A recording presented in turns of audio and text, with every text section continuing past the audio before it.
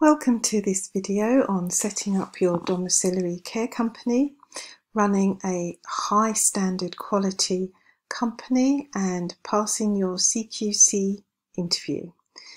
This video is about the 13 CQC fundamental standards, so we're going to go through them one by one.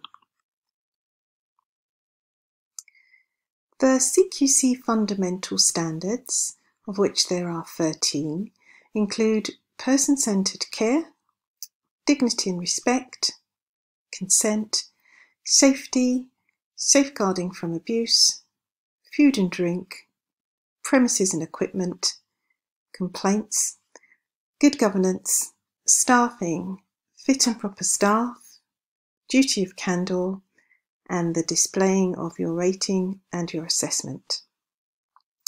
To help you understand each of the standards, I'm going to go through and list the legislation which is appropriate for each standard and also give you some examples and ideas of what the standards relate to and how you can ensure quality standards within your service and for supporting your workers to ensure they are aware of what they need to do and how they need to operate.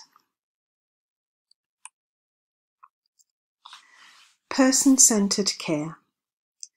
Personalised care as per the Care Act 2014. Carers might create and regularly update personalised care plans for each service user, taking into account their preferences, history and needs. Management could provide training on person-centered care and monitor care plans to ensure they are consistently applied. The involvement in decision-making as part of Care Act 2014 shows us that carers should involve service users in decisions about their care and their support. Management can establish policies to ensure service user involvement and check that the policies are being followed. Dignity and respect. Ensuring dignity and respect.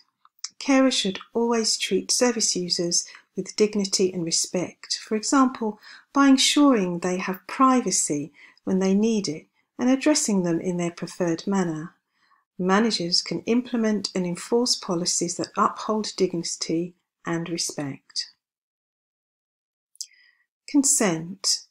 Consent to care and treatment. Before providing any care or treatment, carers need to obtain informed consent from the service user or their legal representative or their family. Management should provide training on obtaining consent and monitor that carers are following the correct procedures. Safety. Safe management of medications is an example. Carers should follow strict procedures for managing medication, including proper storage and accurate record keeping.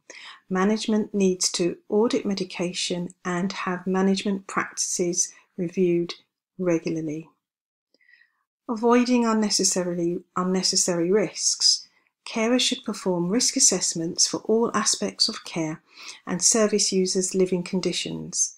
Management should ensure that risk assessments are up to date and that any unidentified any identified risks are addressed. Protection from infection and infectious diseases. Carers should follow infection control procedures including proper hand hygiene. Management should provide the necessary equipment and training to prevent the spread of infectious diseases. Proper use of restraint. If restraint is necessary, carers should be trained and must ensure that it is used appropriately and safely. Management should monitor the use of restraint and provide training to ensure it's used only as a last resort and the best interests of the service user. Safeguarding from abuse. Carers should be vigilant for signs of abuse and report any concerns immediately. Management should ensure there is clear and easy to use reporting systems in place and provide training on safeguarding.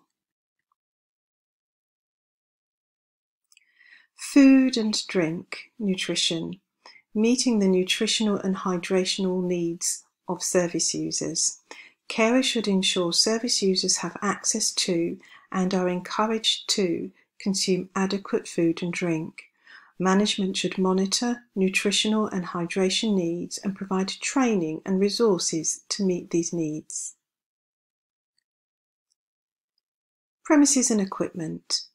Safe environment and equipment is necessary, and carers should ensure that the service user's living environment is safe and that any equipment is used correctly.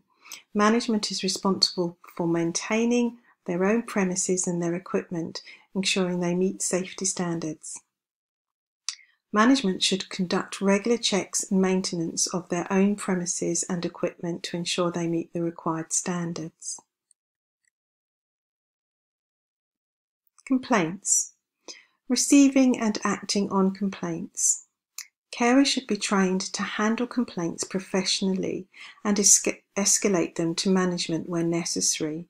Management should ensure there is an effective complaint handling process in place.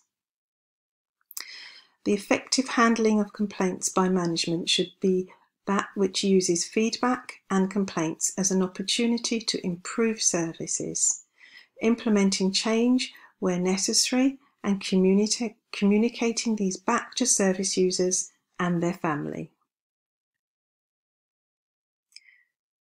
Good governance. Good governance. Management should establish and maintain effective good governance and quality assurance systems to monitor and improve the quality of care, ensuring policies are in place and that they are followed.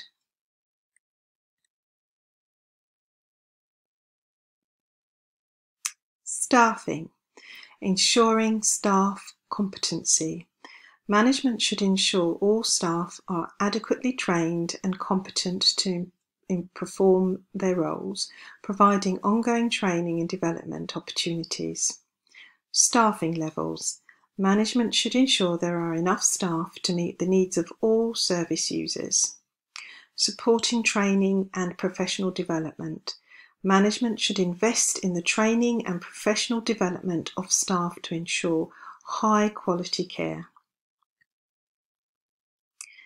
Fit and proper staff. Safe recruitment. Management should follow safe recruitment practices, conducting thorough background checks to ensure all staff are fit and proper persons to deliver care. Duty of candour. Ensuring transparency. If something goes wrong, management should ensure that the service user and their family are informed as well as CQC if it's appropriate to do so. An apology is issued and support is provided. They should also ensure lessons are learned to prevent future occurrences. CQC ranking display. Display displaying your ratings. Management should ensure that the services are, that have CQC rating is displayed prominently on your premises and on the service's website, ensuring it is accessible to service users and for their families.